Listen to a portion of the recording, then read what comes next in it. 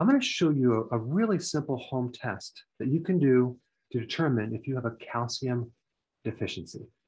Now, calcium deficiencies are pretty common, but usually not because the person is not taking a supplement or not getting it from their diet. It's mainly because either they're not absorbing it or the body is not utilizing it properly. So in this video, we're going to talk about the symptoms of a calcium deficiency and all of the other reasons why you might be deficient, and then a real simple home test that you can do. Okay, so what are the symptoms? Well, number one, anxiety, irritability, insomnia, muscle tension, spasms or cramps, low back pain, constipation, high blood pressure, heart palpitations, frequent nosebleeds could be a calcium deficiency, soft fingernails could be another indicator, frequent cold sores, sunburns when you barely go out in the sun. Then we have hives. Having frequent fevers could be related to a calcium deficiency because calcium lowers your immune system. I remember with our kids, every time they had a fever, I'd give them a little calcium and it would go right away. Frequent hoarseness, chronic coughing, and difficulty getting to sleep. So, calcium is a mineral that we need for our muscles, our bones, our tendons, our ligaments, and the nervous system. Calcium also acts as a communication between your nerves, and there's many things that affect the calcium absorption. Okay. First thing is vitamin D. If you don't have enough vitamin D, you're not going to absorb calcium that well. If you have sufficient vitamin D, you can increase the absorption of calcium by a factor of 20x. Okay. That is a major increase in calcium absorption. And of course, so many people are deficient in vitamin D. Now, magnesium. If you're low in magnesium, you're going to have a difficult time absorbing calcium because magnesium and calcium work together. Another factor is the hydrochloric acid in your stomach. If you don't have enough hydrochloric acid, like a lot of people over the age of 40 and 50 and 60, because as you age, you have less and less hydrochloric acid in your stomach. And you need acid to be able to absorb certain minerals, especially calcium. Low essential fatty acids, like the omega 3 fatty acids, Essential fatty acids help you absorb calcium. And so if you're deficient in omega-3 fatty acids, uh, you're going to have a much more difficult time absorbing calcium. All right, next thing is low estrogen. Let's say you're menopausal and you don't produce as much estrogen. That can affect your calcium. Another factor is your pH. If you're too alkaline, and I'm talking about your blood, and normally blood should be alkaline, but if you're excessively too alkaline, you're going to have a difficult time absorbing calcium as well. So you may deposit calcium in the eye, there's cataracts. On the teeth is tartar. In the kidney is kidney stones. In the joints is arthritis. On the bones as spurring. So unless the pH is correct, it's going to be more difficult to absorb calcium.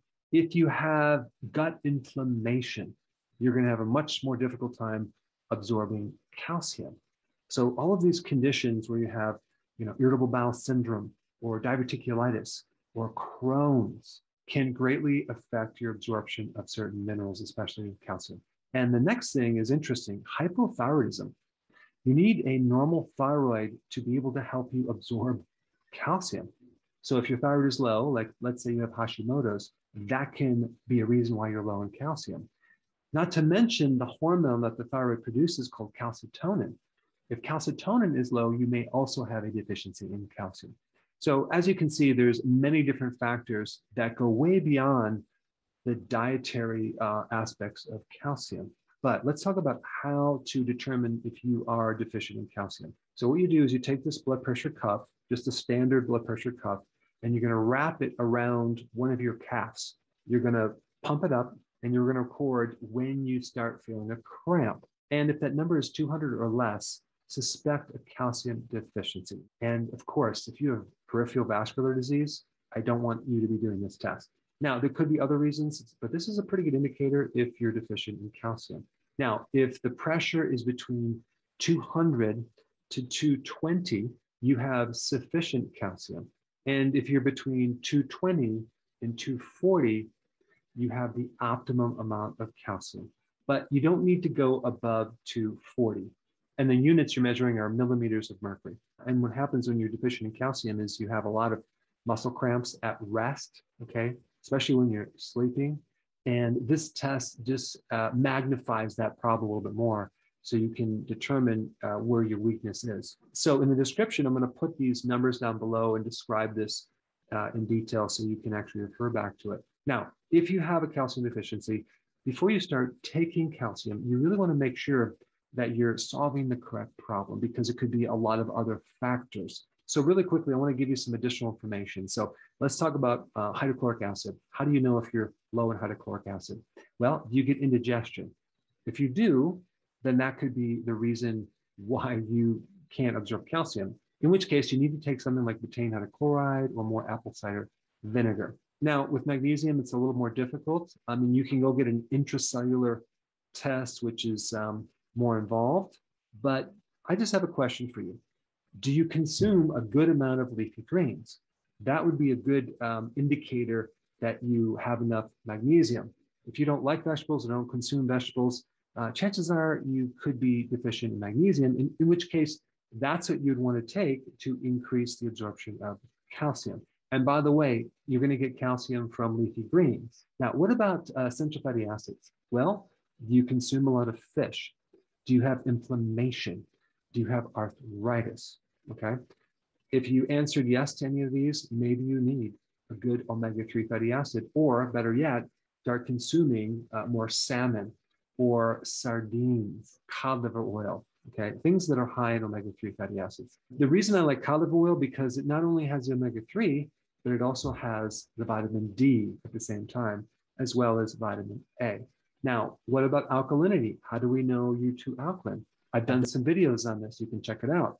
But one uh, common symptom of being too alkaline, and I'm talking about your blood, is that you get this little twitch on your skin. It could be underneath the left eye, could be anywhere on your body. A little, it's called tetany, a little twitch.